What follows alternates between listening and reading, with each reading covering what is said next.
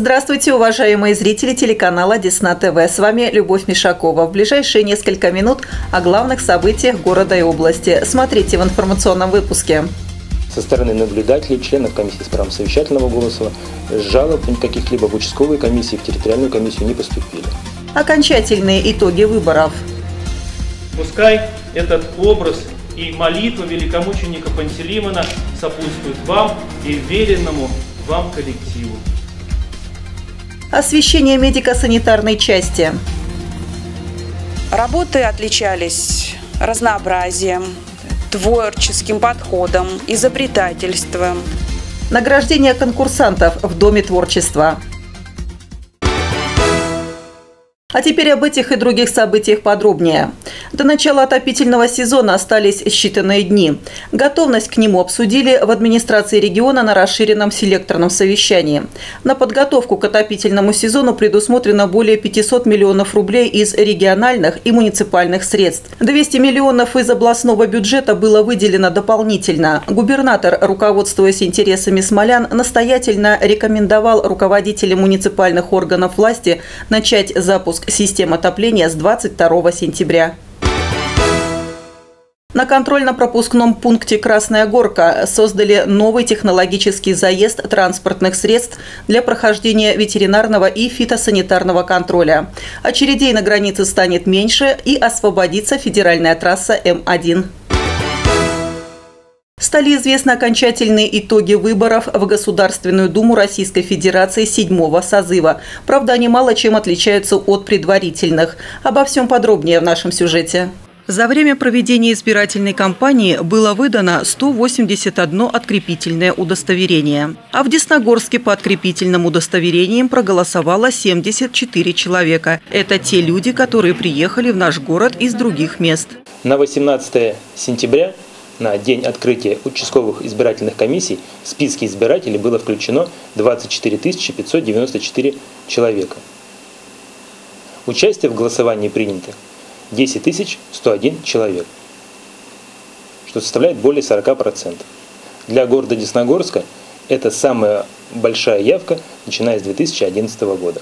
По 176-му избирательному округу, куда входит Десногорск, с явным преимуществом была избрана Ольга Окунева. За нее проголосовало 3974 человека. В партийных списках лидирует «Единая Россия». У нее 3838 голосов избирателей. На втором месте ЛДПР – 2217 голосов. У КПРФ – 1684 голоса. 19 числа территориальная избирательная комиссия избирательную комиссию Смоленской области сдала итоговые протоколы, необходимую документацию.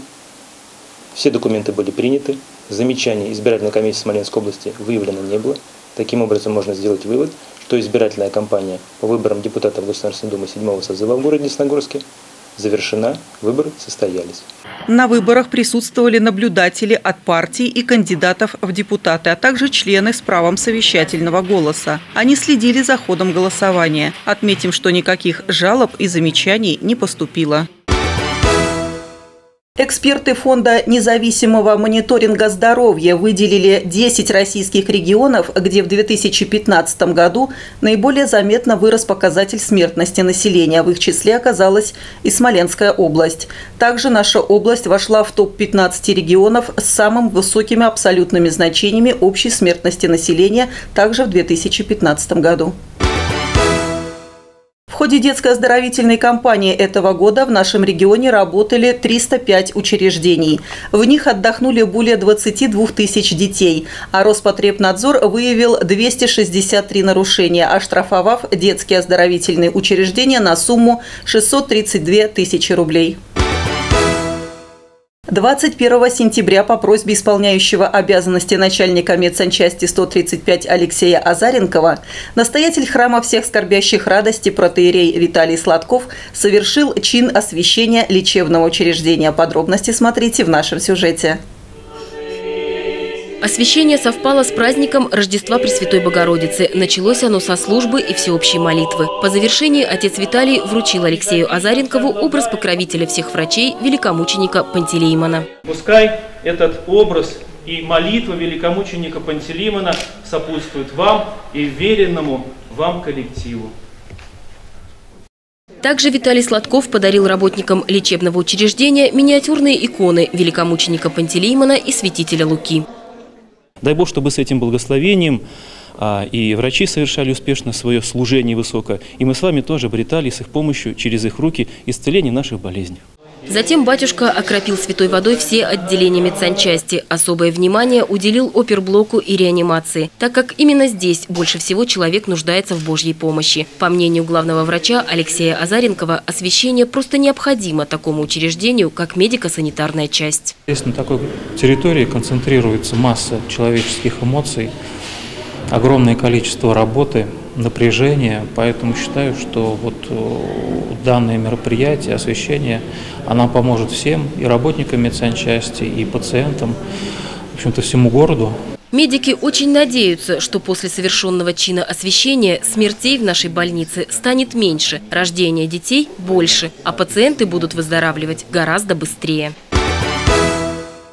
Смоленской области стартовала военно-патриотическая игра «Мы дедов своих достойные внуки», которая посвящена 73-й годовщине освобождения Смоленщины от немецко-фашистских захватчиков. В квесте принимают участие студенты профессиональных образовательных учреждений со всего региона. 20 сентября из Смоленска стартовал международный велопробег «Молодежь России и Беларуси. Дорога в будущее союзного государства». Участникам предстоит преодолеть 900 километров. Маршрут проходит через Починок, Ельню, Рославль, населенные пункты Брянской области и далее по территории Беларуси. Велопробег продлится 6 дней и финиширует в городе Глубокое Витебской области.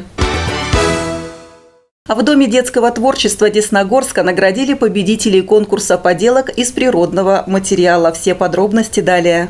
Традиционный конкурс проходит каждый год в начале сентября. Организаторы посвящают его Международному дню мира. И все образовательные учреждения нашего города с удовольствием в нем участвуют. Нынче перед компетентным жюри стояла непростая задача – выбрать лучших из 76 конкурсантов. Конкурс проводился по трем номинациям. «Миру мир», «Ради жизни на земле» и «Моя мечта – жить в мире без войны».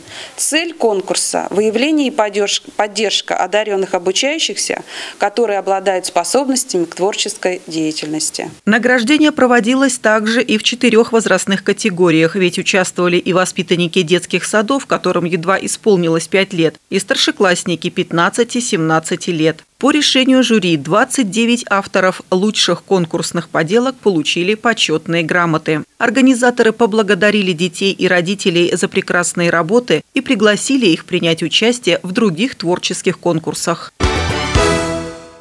В Рославском районе в ДТП погиб 21-летний парень. Управляя автомобилем Nissan Almera, он не выбрал безопасную скорость движения, не справился с управлением. Машина вылетела в кювет и перевернулась. В результате ДТП водитель скончался на месте происшествия, а два его пассажира с телесными повреждениями госпитализированы. Кардымовском районе прошли всероссийские комплексные состязания лайк по подсадному медведю и вольерному кабану. В них приняли участие более 50 команд из России, Беларуси, Украины, Литвы и Латвии. По итогам состязаний первое место заняла команда из Латвии. Серебряными и бронзовыми призерами стали команды из Москвы. Это все, о чем мы хотели рассказать вам сегодня. С этими и другими новостями вы можете ознакомиться на сайте нашего телеканала desna-tv.ru. Спасибо за внимание. До свидания.